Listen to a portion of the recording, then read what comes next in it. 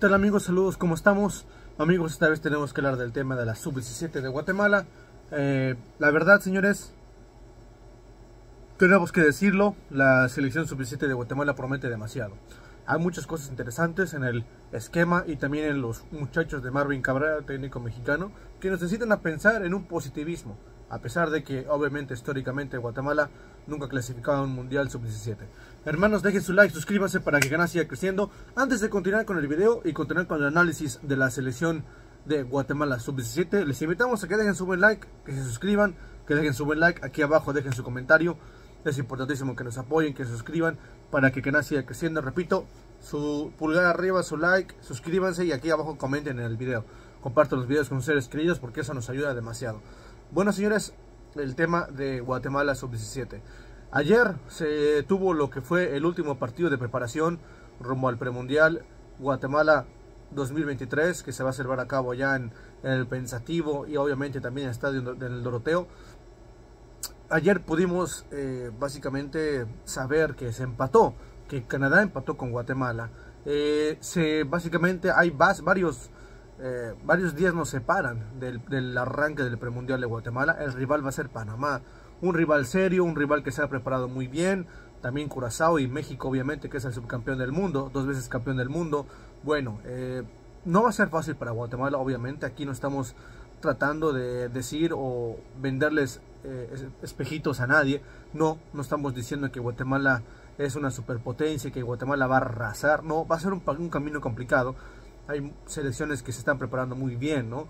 Estados Unidos es una, Canadá es otra que obviamente mostró que es serio, México ni hablar, Honduras obviamente una superpotencia en estas categorías, Panamá, Curazao con Platte Kluber tiene también realmente un proyecto interesante. Hay muchas selecciones ahorita en este orbe de las selecciones de menor edad, de sub-17, que son muy fuertes. Pero ojo, porque Marvin Cabrera, repetimos, está bien, podemos criticar, decir, ah, estos muchachos no sirven para nada, no se va a llevar a ningún lugar, pero no.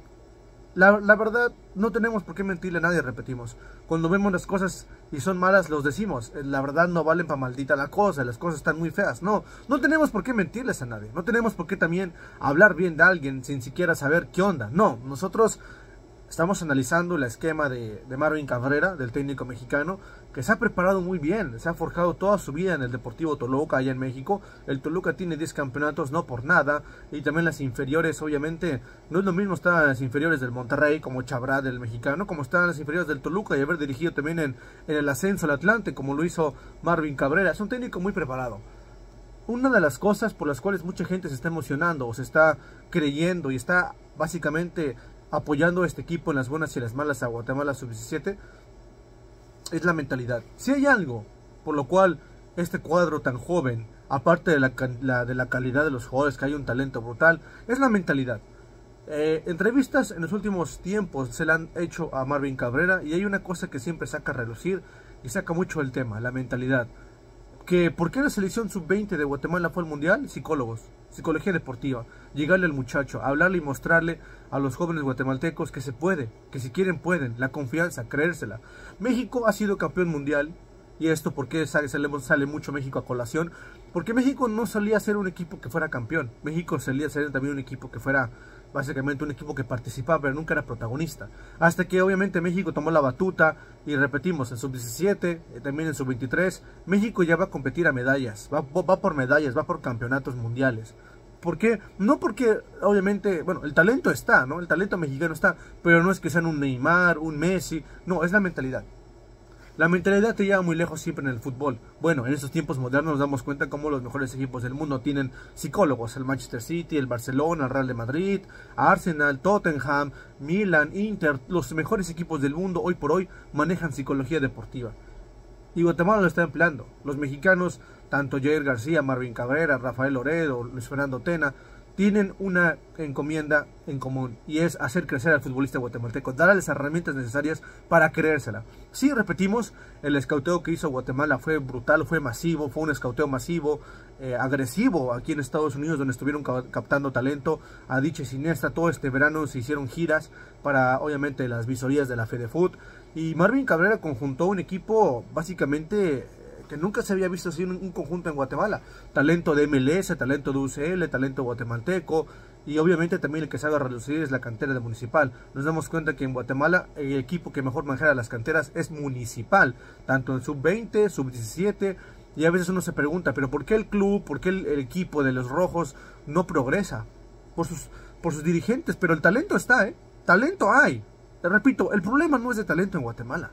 El problema no es de que si se puede o no se puede. Hay talento, hay gente, hay muchachos que quieren trascender y también hay gente que quiere trabajar como los técnicos mexicanos. El problema es acá, la mentalidad, ordenarlos, darle las herramientas necesarias para creérsela, para decir, no has ganado nada, no eres Kimi Ordóñez, no eres Messi, no eres Neymar, tienes que ganártelo en la cancha. Y esos mexicanos lo están haciendo muy bien. Es triste, me sabe mal, porque también en mi caso soy un mexicano. Y Guatemala es donde valoran más su trabajo, en vez de que lo valoran con México. Pero nos damos cuenta, repetimos, que estos técnicos mexicanos tienen una ola diferente de ver el fútbol, una ola diferente de cómo acercarse, aproximarse al futbolista guatemalteco y decirle, ven acá hermano, tú puedes, carnal, créetela, ¿ok? Pero con las pies en la tierra, papá. No has ganado nada, tienes el talento del mundo para hacer historia. Y Guatemala está a puerta de ser, hacer historia. Guatemala está de local, en su estadio, en su gente, en su ambiente, para hacer historia. Es ahora nunca para este equipo, para que vaya al mundial. Guatemala, si logra el boleto mundialista, esperemos que ojalá lo, haga, de un, de, un, de un 100%, Guatemala tiene un 60% de ir al mundial. Ahorita, hoy yo se los digo, yo me hago cargo de mis palabras. Yo veo a Guatemala en el mundial, yo lo veo. Se los digo. Ahora, puede pasar muchas cosas, pero ahorita la preparación, el fogueo, la mentalidad, cómo se están llevando estos muchachos. Repetimos, el talento está. Gente de UCL, gente de MLS. Y los goles están, ¿eh? Guatemala está metiendo goles. Guatemala está actuando de una manera que nunca habíamos visto. Ánimo, apoyar a esos equipos, apoyar a esos muchachos, apoyar a esos, eh, a esos carnales, a esos morros, a esos eh, jugadores jóvenes, porque ellos, eh, la verdad, tienen todo para hacer historia. Morros para nosotros en México significa muchacho. no sé qué significa allá en Guatemala, pero un beso, un abrazo a toda la gente de Guatemala. Dios los bendiga. Un saludo.